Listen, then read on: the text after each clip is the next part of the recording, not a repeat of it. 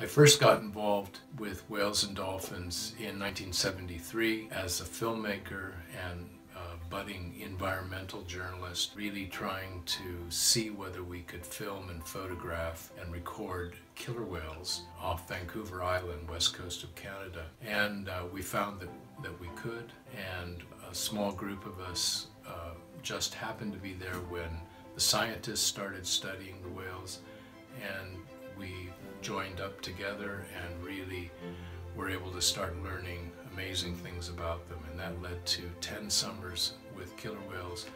And from there, I, I started getting interested in all whales and dolphins and traveling around and doing research.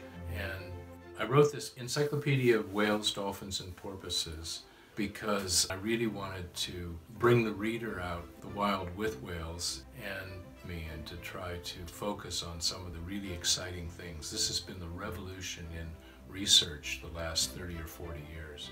And I have so many stories, it's really hard to narrow them down. And I've tried to put quite a few of them into the book.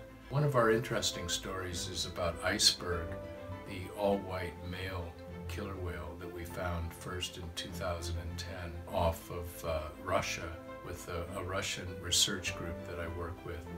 And we were able to um, photograph him and, and do a short video and it's really remarkable because you had all these black and white, the usual killer whales, traveling along, and all of a sudden this big male, pure white, comes out of the water.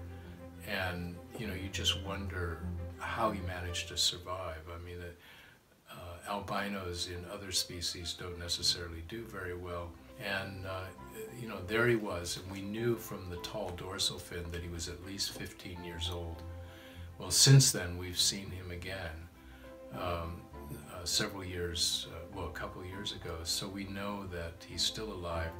He's with his family of about 10 to 12 fish-eating killer whales and, and is out there kind of like a spirit or a ghost uh, traveling